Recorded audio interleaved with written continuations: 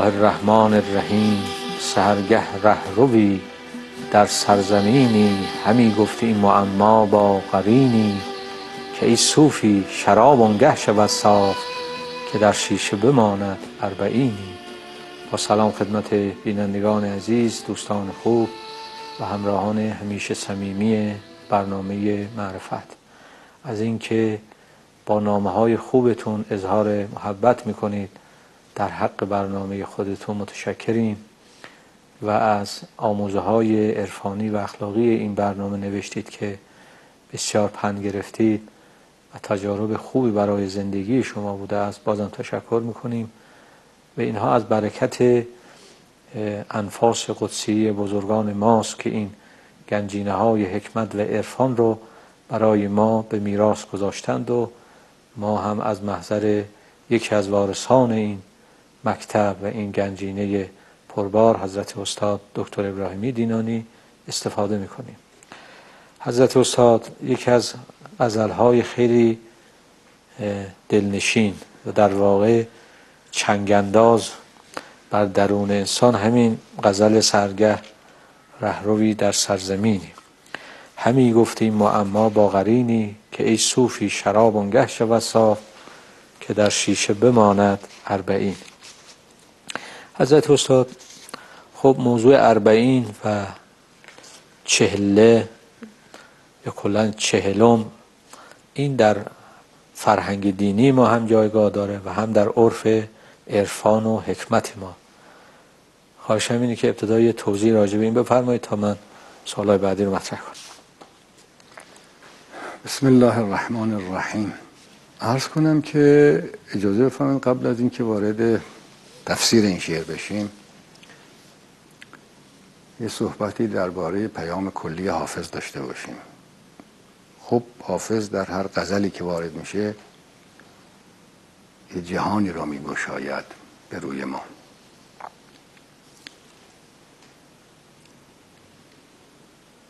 کتاب حافظ دیوان حافظ قبل از هر چیز یک کتاب انسان شناسی است و درباره روح انسان صحبت می‌کنه. درباره بدن انسان درباره طبیعت درباره پرندگان دریا صحرا کوه چندان صحبتی نیست در دیوان حافظ. و اگرم گاهی از طبیعت از گل از لاله مثالی می‌زنه به مناسبت است به مناسبت همون روح انسانه. و البته خوب حافظ به این مسئله هم توجه داره که روح آدمی حقیقتی است که در سرزمین تن می روید هر گلی هر لالهی هر گیاهی یک سرزمینی می‌خواد در جایی باید رویده بشه. نفس ناطقه آدمی روح آدمی در سرزمین تنش رویش پیدا می‌کنه. تن نباشه نفس رویش پیدا نمی‌کنه. به همین جهت گاهی از تن هم صحبت می‌کنه حافظ و این به مناسبتی که سرزمین روحه. ولی از تن به ماه و تن صرف نظر از روح صحبتی نداره حافظ. بنابراین بهتره بیم که این کتاب شعر غزل هنر هنر شعری در اوجش اینم. اما یکی از مهمترین کتاب های انسان شناسی است. شاید کتاب انسان شناسی در این کتب تعلیفات بشری. شاید انفسی بگیم. انفسی بله. این کتاب هایی که در فرهنگ بشری تعلیف شده درباره ماهیت انسان اما از قدیم و جدید من کتابی به عمق و جرفای دیوان حافظ درباره انسان شناسی نمی‌شناسم. به درستی سعی می‌کنه انسان رو بشناسه. و پیام حافظ در این کتاب اینه که اصلا مسئولیت انسان بودن ما باید مسئولیت انسان بودن رو به دوش بکشیم. آقا بعضی فکر کنن که مسئولیت چیزهای دیگه است. قبل از هر مسئولیتی مسئولیت نخستین و سنگینترین مسئولیتی که به دوش انسان گذاشته شده مسئولیت انسان بودنه. اگر کسی مسئولیت انسان بودن را نشناسد سایر مسئولیت ها رو نمی‌شناسه و شاید اصلا مسئولیت نشناسه. حیوان مسئول نیست نبات مسئول نیست جماد مسئول نیست حیوانات مسئولیت نمی‌شناسند. لازم هم نیست که بشناسند. همه مسئولیت را انسان داره چون مسئولیت انسان بودن رو به دوش داره. این مقدمه لازمه که من ارز کنم. و حافظ رو این نکته تأکید می‌کنه که انسان بودن و انسانی زندگی کردن و آگاهی به حقیقت انسانی بزرگترین مسئولیتی است که به دوش انسان گذاشته شده. این هم از ازل. الستو بربکم اون همون عهده. اصلا مسئولیت همون عهد السته. ما در ازلی مسئولیت رو پذیرفتیم. در, در ازل پذیرفتیم یعنی چه؟ تفسیر حالش اینه که در فطرت و ذات ما مسئولیت هست. ما به حسب ذات مسئولیم. مسئولیت امر عرضی نیست. بله ممکنه مسئولیت کارگاه یه مؤسسه عرضن مدتی به عهده انسان گذاشته بشه این عرضیه. اما مسئولیت انسان بودن عرضیه اون ذاتیه. و اگر مسئولیت انسان بودن به دوش ما نبود مسئولیت های عرضی هم بیمعنی بود. این یه مسئولیت بزرگی. خب برای اینکه این مسئولیت رو بشناسیم یعنی باید خود انسان رو بشناسیم. اصلا خود انسان مسئولیته. انسان شناس کتاب حافظ پس یک کتاب انسان شناسی است. و الان میگه بله. آدمی در عالم خاکی نمی آید به دست. بله. عالمی دیگر به باید ساخت و از نو آدمی. همون. این یک نگاه نومیدانه به آدم نیست. نه اصلا, اصلا نومیدانه نیست. نه خیر. می‌خواد بگه فکر شما در خاکدان نمی‌تونی در حد خاک باقی بمانی. این کافی نیست. نمی‌خواد که نومید نیست حافظ. می‌خواد بگه در حد خاک در حد تن در حد شهوات نفسانی در حد بدن نمی‌تونی بمونی. این عالم نیست. باید از همطور که ارز کردم تن شما و مقتضیات تن جسم شما مزرعه روح شماست. روح شما در این مزرعه باید رویش بید. عالم دیگر همون روانی است از این مزرعه رویش پیدا می‌کنه. عالم دیگر یعنی باید نفسانیت شما شناخته بشه. تو خاک نمانی. بله. به همین جهت من می‌خوام بگم که قبلا گفته بودم در همین جلساتی که صحبت می‌کنیم که کتاب تربیتی هم هست حافظ. الان می‌خوام بگم که بله هست کتاب تربیت ولی قبل از اینکه کتاب تربیتی باشه کتاب انسانیه. حالا شما ممکنه بپرسید که تربیت هم انسانیه. بله تربیت کتب تربیتی کار می‌کنن؟ میگن باید این کار انسان بکنه این کار نباید بکنه. بیشتر بایدها و نباید هاست این کارها رو باید انجام داد.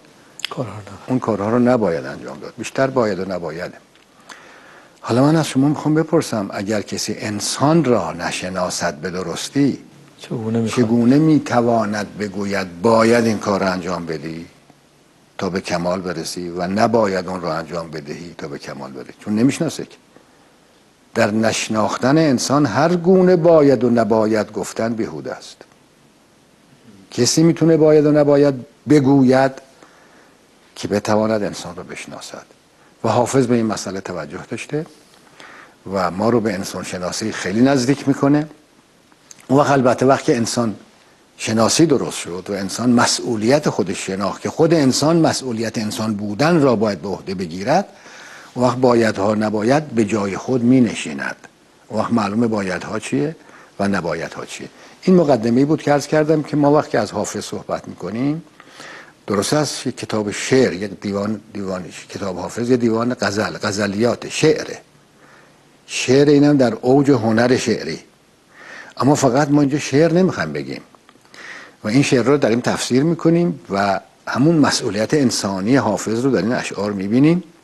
توجه فرمودی و باید و نباید باید و نباید هایی که به این مسئولیت باره از پیام حافظ دریافت می‌کنیم و به تفسیرهایی که تا حالا کردیم و از این به بعدم اگر توفیق باشه خداوند توفیق بده خواهیم کرد.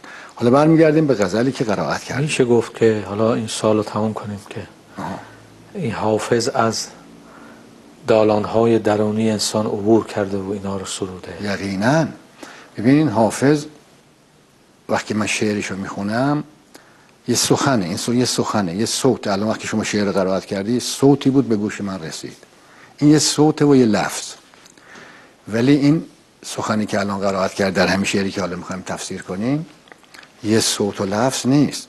این شعر تمام حافظه. نه فقط صدای حافظ نه فقط الفاظی که ترکیب شده و یه جمله ساخته. این همه حافظه. و همه حافظ یه انسان فرهیخته است که لایه لایه لایه لایه داره. و این لایه ها یکی پس از دیگری هی به جرفا میره. ای عمیق و عمیقتر میشه. یه انسان فرهیخته است. البته فرهیختگی انسان مراتب داره. حالا من وارد مراتب کمالات انسان حافظ نمیشم. بارها گفتیم ما شخص حافظ رو نمی‌دونیم که بوده هرچی بوده. ولی می‌دونیم که این سخن لایه لایه داره. و چون این سخن لایه لایه دارد میشه بفهمی که حافظ لایه لایه داشته وجودش. و الان حالا وارد همین غزل میشیم که شما قرائت فرمودی. حالا بفرمایید دوباره. سرگه ره روی در سرزمینی همی گفته این معما با قرینی. سهرگه ره روی در سرزمینی. ببینید تک تک این واژه ها رو معنی کنیم اجازه بفرمایید بعد جمله شعر رو معنی می‌کنیم. یکی سهرگهه حافظ اصلا با سهر و سهرگه خیلی معنوسه. حافظ اهل سهره اهل دلهای تاریک شب و دلهای روشن شبه هر گنج سعادت که خدا داد به حافظ از یمن دعای شب و ورد سهری ورد سحری. اهل سهره بله در این تاریکی شب روشنایی می‌بینه حافظ روشنایی دل. حافظ اهل شبه و سهر کلمه سهر بسامد کلمه سهر در غزلیات حافظ فراوانه. خیلی با سهر معنوس شب خیزه شنیدم سهرگه رهروی. خب این ره رو در سهرگه داشت حرف می‌زد. توجه کن. ره رو می‌تونه روزم حرف بزنه. مگه راه رو روز راه نمیره؟ ره رو یعنی راه رو. کسی که راه میره. مسافر داره میره. خب مسافر روز میره شب هم ممکنه بره. همه وقت ممکنه بره. اما حافظ سهر رو انتخاب کرده. این ره رو که این حرف حالا داره با ما می‌زنه در سهرگه این حرف می‌زد. اول شب نبود وسط روز نبود سهرگه این حرف می‌زد. در سهرگه یه ویژه سهرگه یه ویژگی داره و اون سخن سهرگاهانه یه خاصیتی داره که در سایر اوقات نیست. شنیدم سهرگه ره روی ره روی در سرزمینی. خب حافظ اون ره رو رو در سهرگه سخنشو میشنود. که این راه رو در سهرگه صحبت می‌کرده. و این راه این زمانشه. زمانش تعیین کرده سهرگه بوده. و زمان بدون مکان که نیست. مکانش کجا بوده؟ در یه سرزمینی بوده. سرزمین رو نکره میاره. سرزمینی یا نکره است. یعنی یه سرزمینی. حالا این سرزمینی که اون سالک راه راه رو که سالک است راه رو سالک به اصطلاح و رفا سالک یعنی راه رو یعنی کسی که داره سلوک می‌کنه راه میره. که سهرگه داشت حرف می‌زد در یه سرزمینی بود. اون سرزمین رو با نکره بیان کرده سرزمینی یعنی نمیگم کجاست. آن معلومه کسی که در سهرگه داره حرف می‌زنه و پیام میده و از معمایی داره صحبت می‌کنه و اون معما رو با یه قرینی میگه. قرین یعنی همراه. قرین یعنی کسی قرین همراهشه. داشت طرح یه معما می‌کرد. اون سرزمین معلومه کجاست؟ سرزمین نفسه. سرزمین باطنه. از کردم بدن سرزمینی است که روح درش میره ولی خود روح باز دوباره یه سرزمین هم لایه لایه داره. در سرزمینی یعنی در سرزمینی که سالک داره به عروج معنوی حرکت می‌کنه. اون یه سرزمین خاصیه. شما نمی‌تونید در باغها و راهها و جغرافی این عالم چه بسا پیدا کنی؟ سرزمین اینجاست که سلوک داره در مقام معرفت سالک داره در مقام معرفت بالا میره. در سرزمینی. خب چی می‌گفت این سالک؟ در سهرگه و در اون سرزمینی که حالا ما نمی‌شناسیم کجا. چی می‌گفت؟ همی گفتیم معما با غرین آره. حالا این معما رو باید ببینیم معما چی بوده. همی گفت همی هم یعنی همیشه داشت می‌گفت. نه یه بار گفته تمام شد. این همی گفت یعنی این سخن دائمش بود. یعنی مسئلش بود این. این همی یعنی یه بار نگفت تصادفی. مدام می‌گفت. مدام می‌گفت همی گفت. یعنی یعنی چه چیزی که آدم مدام میگه؟ یعنی مسئله است. یعنی مسئله داشت. اجازه بده مسئله رو من معنی کنم تا این همی معلوم بشه. اصلا مسئله چیه آقای لاریجانی؟ مسئله داشتن یعنی چی؟ چه آدمی مسئله داره؟ مسئله واژهش لغتش یعنی سوال. سوال. یعنی چیزی که محل سواله. و برای من پرسش آفرینه. یعنی من دارم می‌پرسم و نمی‌دونم چه کارش کنم. باید حلش کنم. مسئله آیا از بیرون میاد از درون؟ از درون. مسئله همیشه درونیه. و اگر هم از بیرون از. بیرون بیاید تا مادامی که درونی نشه مسئله نمیشه. هیچ مسئله هیچ وقت از بیرون نمیاد. همیشه از درون است. و اگر هم چیزی از بیرون به عنوان مسئله آمد باید درونی بشود. مادامی که درونی نشود مسئله نیست. پس این همی یعنی درونی شده بود و رهاش نمی‌کرد یه تصادف زودگذر نبود یه پرش نبود. این حالا شده بود بر این مسئله. همین گفت این معما. مسئله یعنی هنوز حل نشده. ما باید این حلش کنیم. با قرینی با قرین خودش داشت طرح مسئله می‌کرد. خب حالا ببینیم این معما چیه. ای صوفی ها شراب اونگه شود صاف که در شیشه بماند اربعین. حالا معما همینه که ای صوفی این صوفی رو با صافی اینجا قرین قرار داده حافظ که ای صوفی شراب اونگه شود صاف صوفی و صاف. پس منظور حافظ از صوفی کسی است که صاف باشه. صاف. باشه. به قرینه صافی که بعد به کار می‌بره. صوفی یعنی کسی که صاف باشه. صفای درون اگر کسی صاف نباشه. صاف یعنی چی؟ یعنی با دلش پاک باشه. کسی که دل پاک نه. دل پاک دل صافه. دل صاف یعنی دل پاک.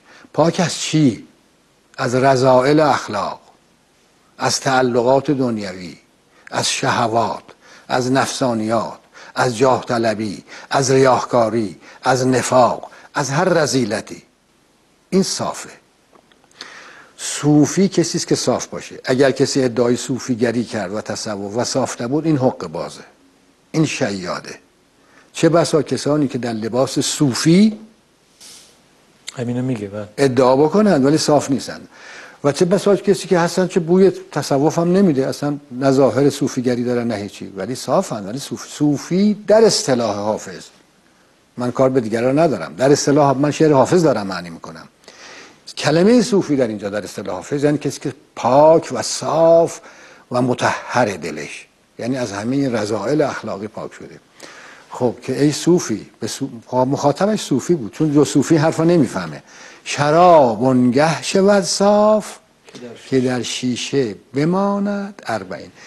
حالا ما که نمی‌دونیم اما اونا که اهل شراب بودند و شراب ساز بودند و شراب شناس بودند و هستند شراب ظاهرا باید خب مراحل ظاهرا شراب داره که گاهی آلوده است گاهی صاف نیست ناپاکه چه؟ شراب صاف بیغش می بیغش به قول خود حافظ که اصطلاح خود حافظه می اونگه بیغش میشه و صاف میشه و مستی آور است که در یک شیشه چهر روز بماند. چهر روز. و شما این سوالتون بود که چهر روز یعنی چه؟ که در شیشه بماند. اربعینی. خب اینجا حافظ با کلمه اربعین خیلی اشارات داره. وقت شرابش هم معنی می‌کنه شیشه شراب هم داره معنی می‌کنه. من نمی‌دونم حالا شراب ساز حالا مثلا اگه 41 روز شد یا 39 روز شد تأثیری داره در شرابش یا نه؟ بله ممکنه 50 روز بشه ممکنه 30 روز بشه اونو من نمی‌دونم. ولی شرابی که حافظ داره بهش اشاره می‌کنه همون عدد اربعین است که شما در آغاز سخن پرسش رو مطرح کردید. اربعین یه عدد مقدسه در آین مقدس اسلام. استاد اجازه از صوفی و صافی نتیجه بگیریم. ها. جناب مولوی بین صوفی و صافی تفاوت قائله میگه صوفی ابن الوقت باشد در منال لیک صافی فارغ است از قیل و قال.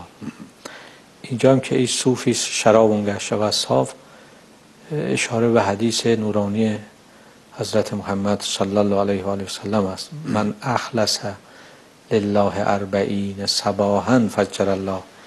ینابی الحکمه من قلبه الی لسانه. یعنی پس اینجا می‌تونه نتیجه بگیریم که مراد حافظ از صوفی همون صاف باید باشن.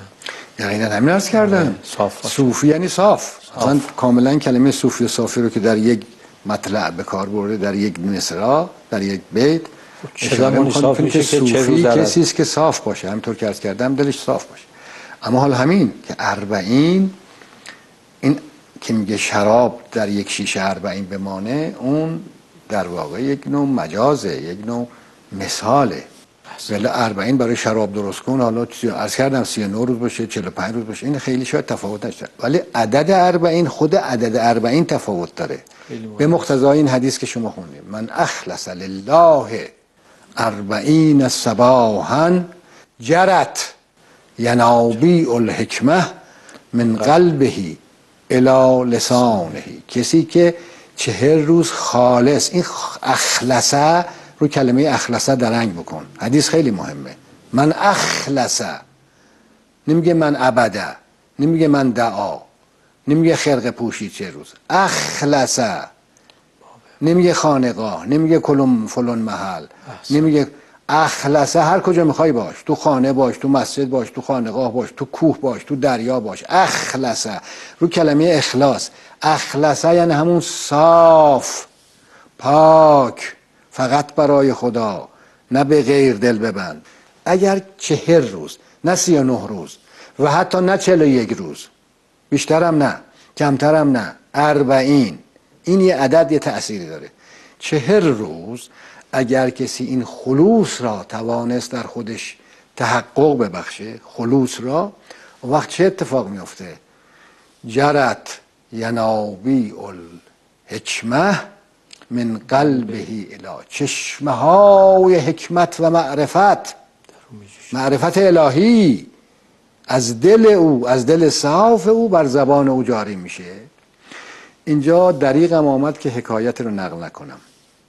حکایت نیست واقعیته. در احوال مرحوم مول محسن فیض کاشانی نوشته شده است که این مرد خب محدثم بود عارفم بود. شاگرد مولا صدراست می‌دونید که فیض کاشانی هم داماد هم شاگرد مولا صدراست فیض و فیاض. فیاض لاهیجی و فیض کاشانی هر دو هم شاگردان برجسته مولا صدرا بودن هر دو هم داماد مولا صدرا و مولا صدرا به این دو عنایت ویژه داشت. فیض چون اهل حدیث هم بود یه وقت با خودش فکر کرد که این حدیث رو خون و نقل کرد تو کتابش. من نخلص لله اربعین صباها جرت ینابی الحکمه من قلبه علی لسان. گفت ما این همه درس می‌خونیم مباحثه می‌کنیم این همه زحمت کشیم برای چی؟ خب میریم همین حدیث رو عمل می‌کنیم. دیگه این همه هم زحمت نمی‌کشیم. رفت و همین کارو کرد. خودش میگه. میگه رفتیم و یک چله نشستیم. چله نشینی هم چله نشینی هم یعنی همین. یعنی چه هر روز مداومت. چله نشینی حالا انواع اقسام در هر کسی چله رو یه جوری می‌گیره. حالا لازم نیست بری یه گوشه بشینی. همین که رعایت بکنی اخلاص رو چهر روز مهم. حالا یا عبادت کنی یا درها اخلاص مهم. فیض رفت و چهر روز بدون گونه که می‌دانست و باور داشت و از احادیث استخراج کرده بود چهر روز به عبادت پرداخت. چهر روز. رأس چهر روز تمام شد و پا شد دیگه تمام شد دیگه. باید چه یک روز نشه. باید چه روز تمام که شد دیگه فارغ باشه. وقتی از محل عبادتگاهش پا شد دید نه همون فیض سابقه. هیچ چشمه ای از حکمت از قلبش جاری نشده. همونی که می‌دونسته می‌دونسته. همونی که نمی‌دونسته نمی‌دونه. چیزی اضافه نشد چندان. تعجب کرد خدایا این چگونه است؟ آیا این حدیث صحیح نیست؟ آیا من عمل خودم درست انجام ندادم؟ متحیر شد. یه بار دیگه انجام داد. بازم دید نشد.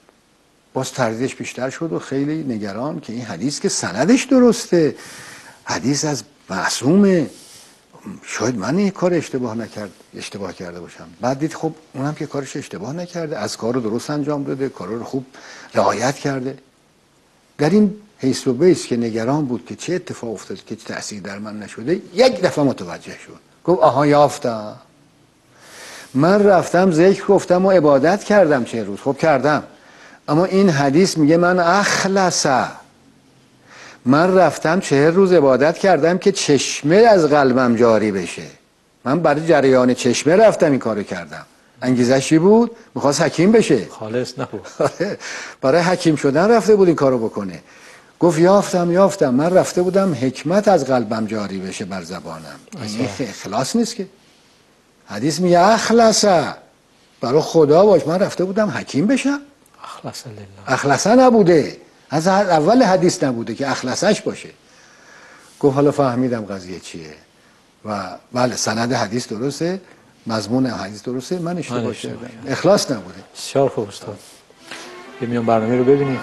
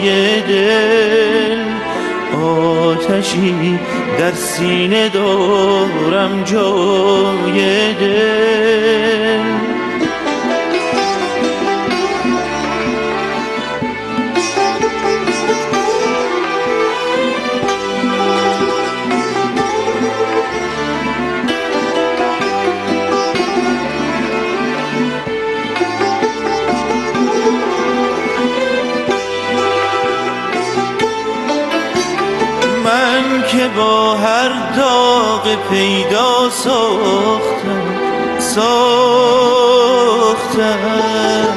سوختم از داغ ناپیدای دل سوختم.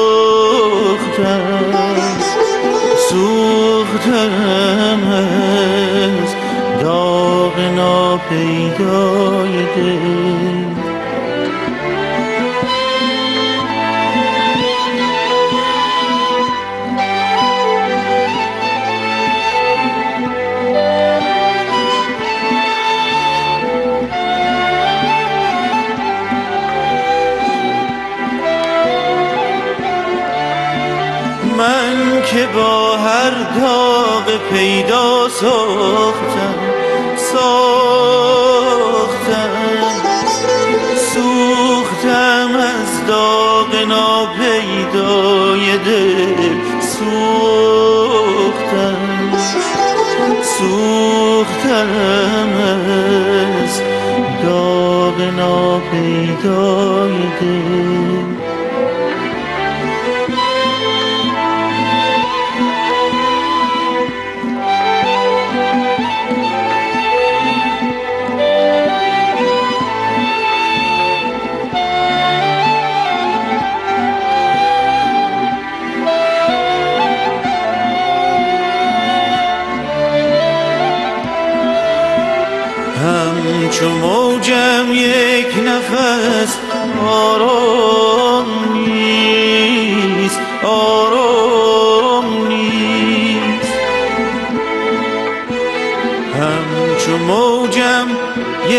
یک نفس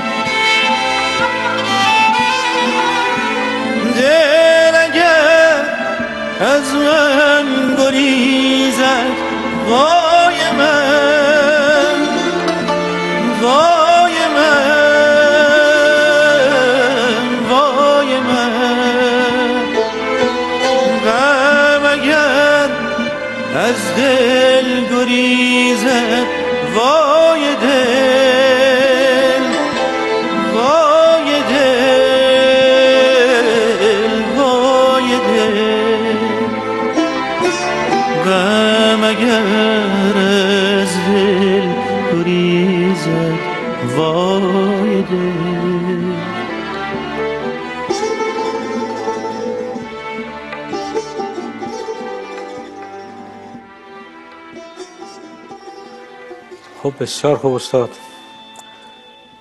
عجب حدیثیه و انسان خودش رو در معرض این حدیث قرار بده و بخواد عمل بکنه. چقدر دشواره.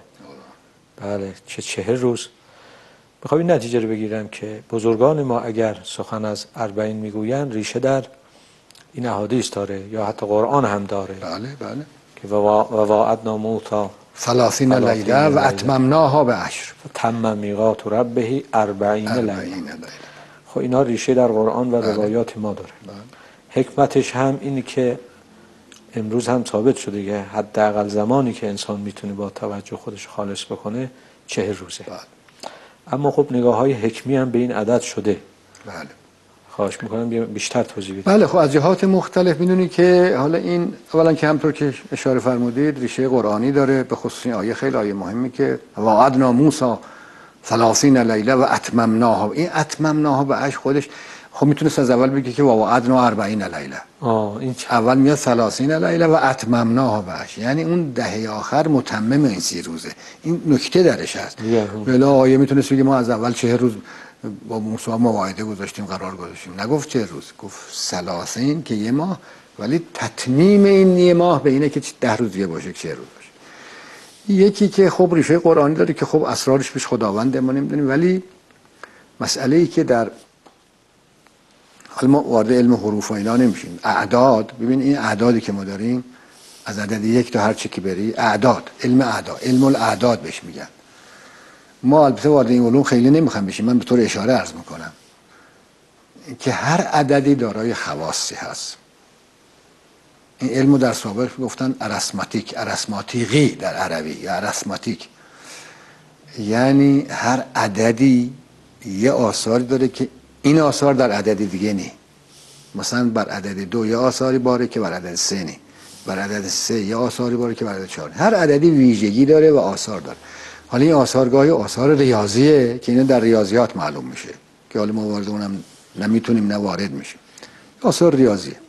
یه آثار معنوی هم هست در هر عددی. همطور که آثار ریاضی خاص داره هر عددی یا آثار معنوی خاص هم هر عددی داره. یعنی هر چیزی خواصی داره.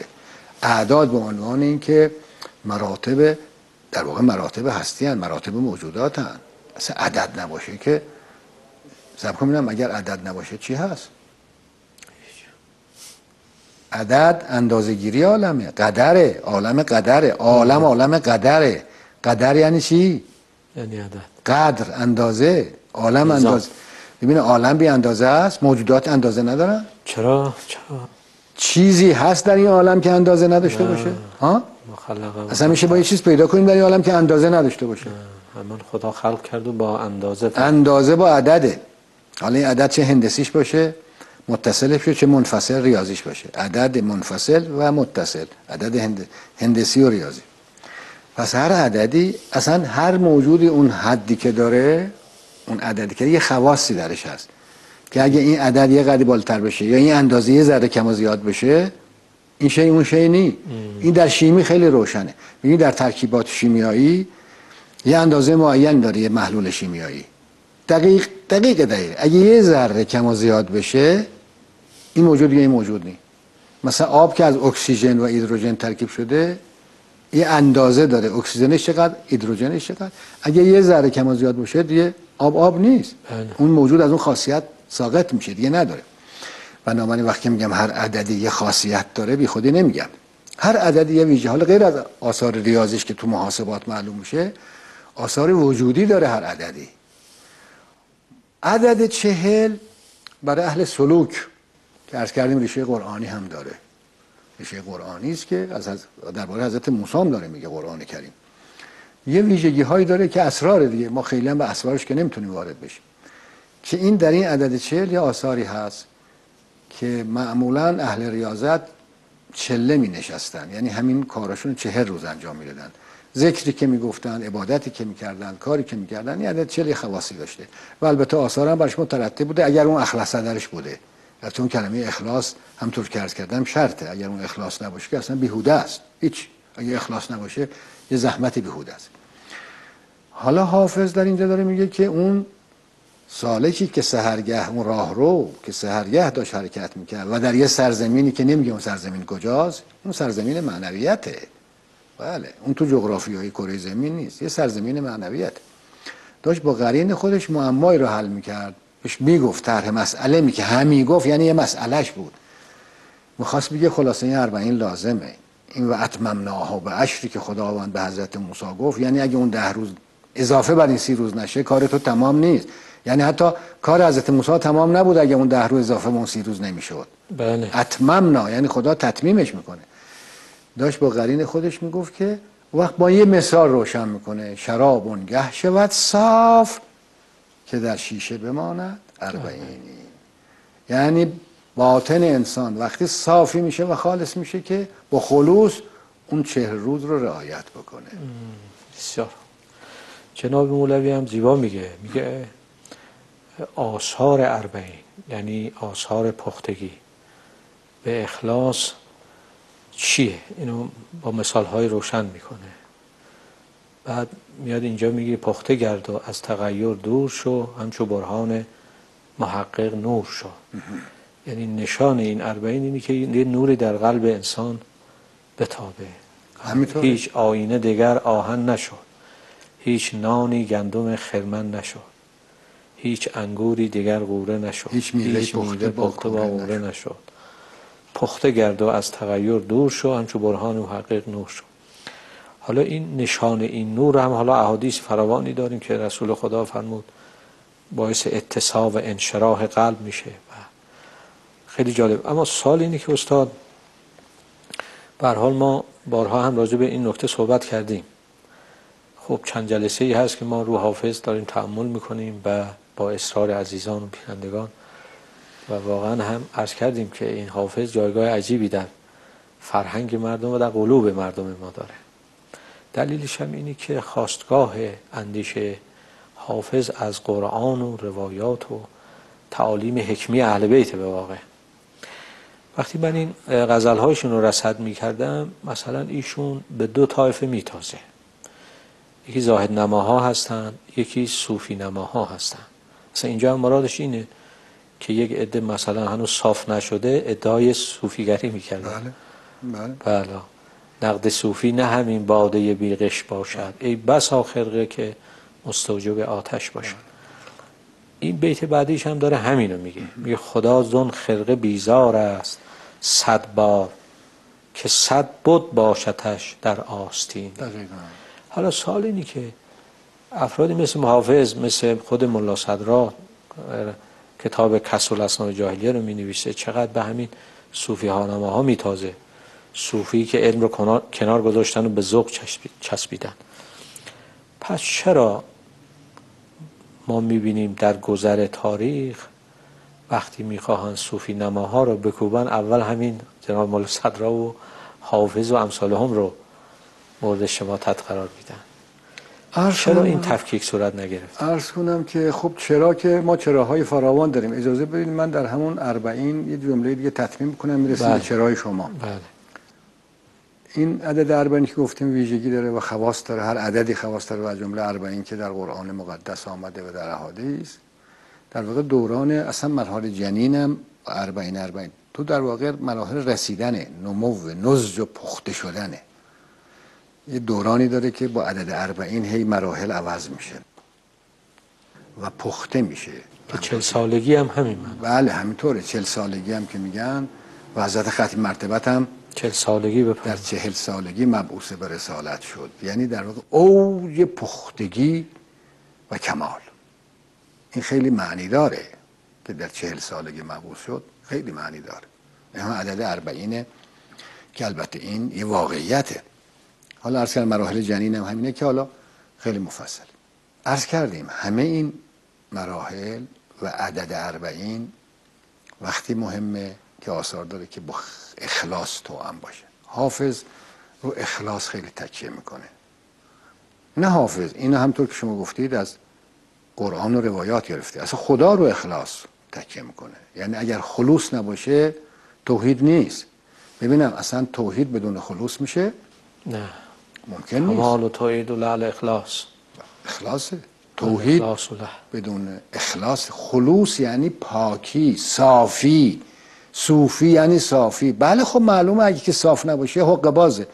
چه در کسوت صوفیگری باشه چه نباشه. اینا رو که ما دیگه فریب اینا رو که نباید بخوریم. ما که گرفتار لباس نباید باشیم که جست او چیه ریشش چیه سبیلش چیه لباسش چیه. ما این دیگه ساده لوحی که ما با ریش و سبیل و سبلت و لباس و اینا بخوایم گول بخوریم. این دیگه کار آدمای ساده نادانه. اخلاص ملاک. البته اخلاص به دست آوردن خیلی سخته. هم کسی که خالص می‌خواد بشه هم تشخیص خلوص. حافظ یکی از پیام های اصلیش در همه غزلیاتش که ما بارها اینجا عرض کردیم اخلاص و خلوص و پاکیه. و در مقابل پاکی ریاکاری و نفاق ناپاکیه. ریاکاری یعنی چی؟ یعنی ناپاکی. یعنی اونچه که نیست یعنی جنس قلابی فروختن. خودشو به یه جوری نشان میده که نیست. آنچه که هست نشان نمی‌دهد. آنچه که نیست خود را نشان می‌دهد. یعنی جنس قلابی. هم خودشو گول می‌زنه. وقتی مردم گول می‌زنه در مرحله اول خودشو گول زده. یعنی خودشو نابود کرده اصلا. یعنی اصلا یه خود نداره. این خود قلابیه. به اصطلاح ما یه خود قلبی داریم یه خود قلابی. خود قلبی وقتی که پاک باشه. قلبی واقعا باشه. خود قلابی که فراوان هم هست همون ریاکاری هاییست که در زمان حافظ هم خیلی زیاد بوده متاسفانه. ببین حافظ بارها عرض کردم ابن نداره که بازم تکرار کنم که در یکی از بدترین زمانها زندگی می‌کرده. حافظ در زمان چهار سلطان زندگی کرده. چهار تا شاه چهار, چهار تا پادشاه درک کرده.